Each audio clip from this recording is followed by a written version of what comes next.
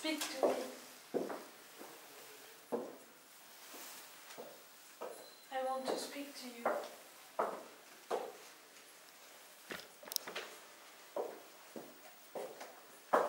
Speak to me.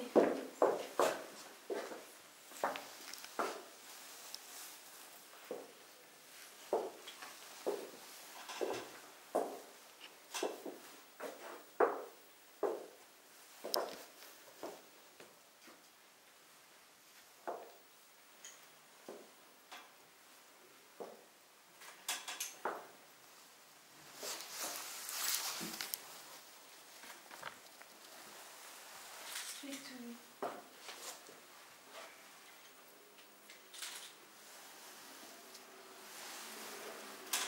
Speak to me. Speak to me.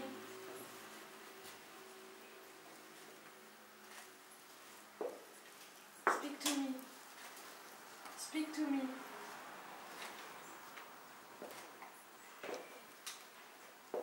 Speak to me. Speak to me.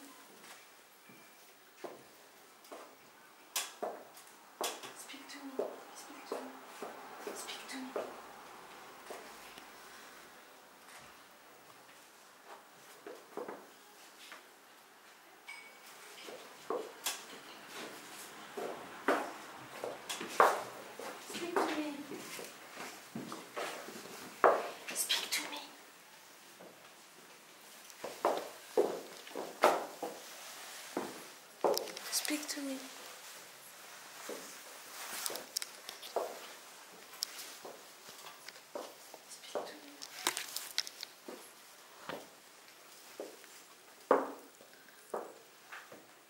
Speak to me.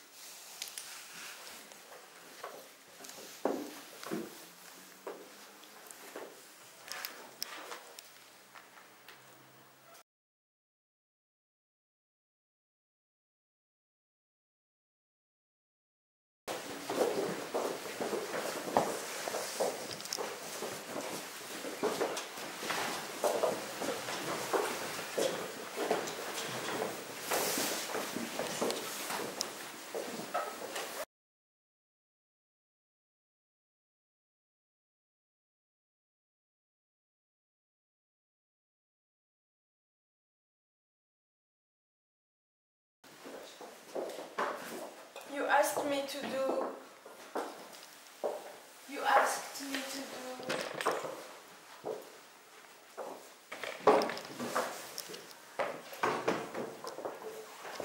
No, I can't do that to you because I don't have it.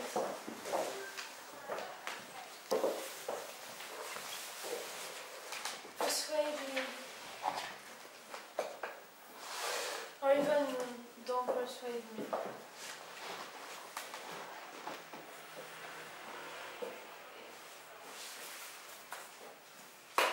This is that matters.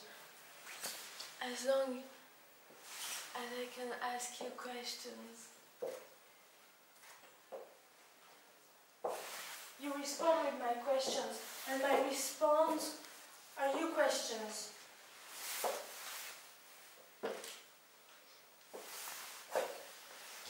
But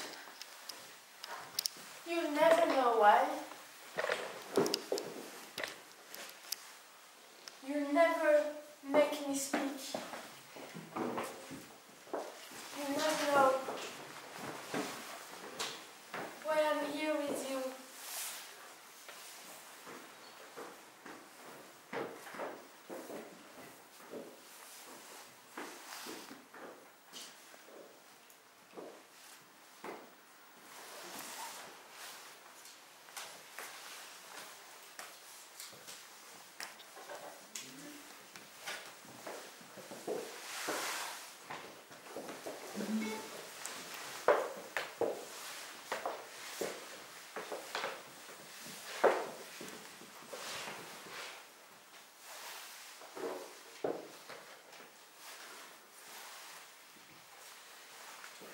You never know why I'm here with you.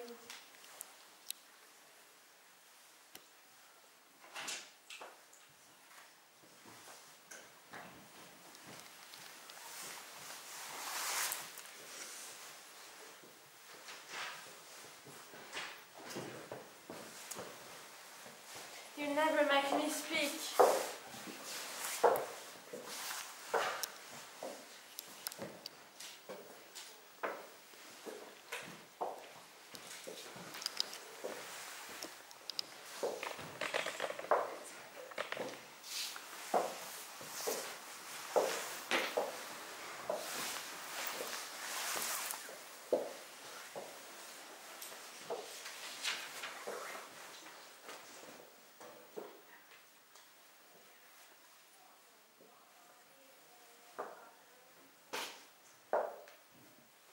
Your eyes are not on me. All the things you say do not speak to me. But you are here. You are here. Yes, I am here.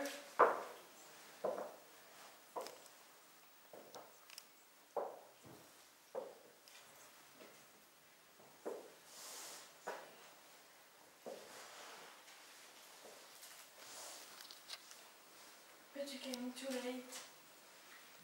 It was too late to understand. And you are no longer here.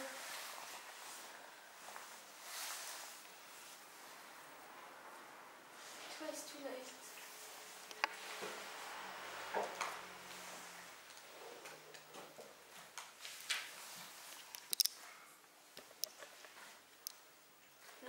Both against? I know you're against my presence. What presence? My presence. Because I've responded to your call. Because I'm here and you're against me.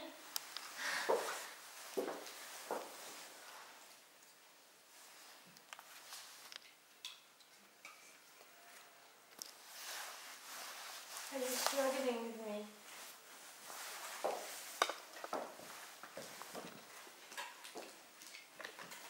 Yes, I'm struggling with you. So that you can accept your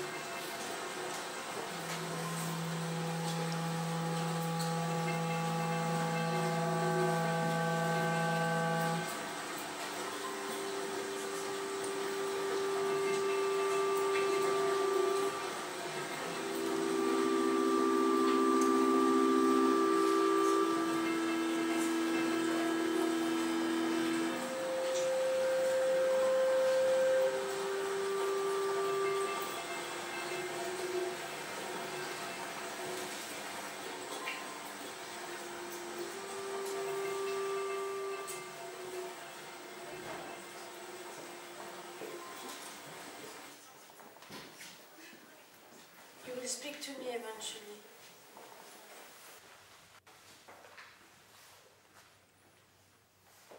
In that afternoon, everything was safe and sound.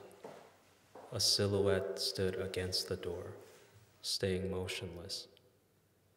It was four o'clock in the afternoon, and an overbright sunlight was cast not far from here, increasing the depth of shadow in the room. Through her dress, she will see the blood flowing slowly there. The silhouette's lips were tightly closed, her almost transparent toes clinging onto the wooden floor, where it was perhaps cold. The sunlight suddenly moved away, and she pressed her body against the doorframe, leaning completely against it, seeming to take in the full darkness of her vision at the moment. The scent of leaf sap was on her fingertips, and her hair seemed to flow through the teeth of the wooden comb with a static scraping sound. She had trespassed in at first, as if she had misidentified the door, and her footsteps seemed a little disorganized. With her half blinded vision, she saw the underside of furnitures that were normally difficult to see. A few nails fixed in the inner cavity of the desk, the height of the wooden chair handles, the corner of the ceiling. Her groping seemed aimless. Her torso at times were hidden by the wardrobe. As she became accustomed to the silence of the place, her footsteps stabilized as she walked her body over the furniture. At the moment, only a wall away, another person was working impartially, she was very certain. This certainty made her wish all the more to be alone at this point to take in the room the firm darkness inside the cavity. A strange sunlight drew her in, constantly attracting her. It was so familiar to her, as if it's from a distant memory. Had it been closer, it would have been almost at her feet.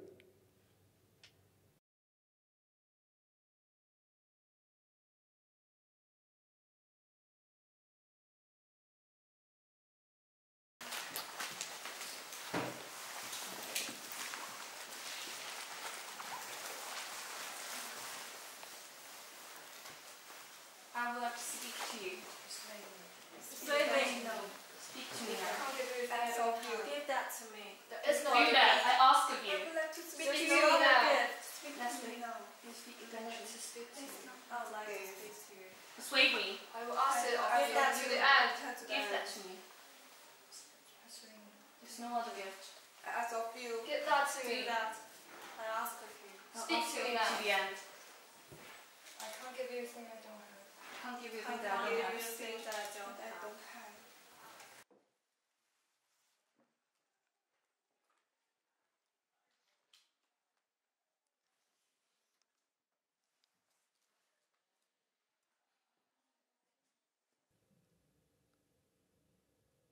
Say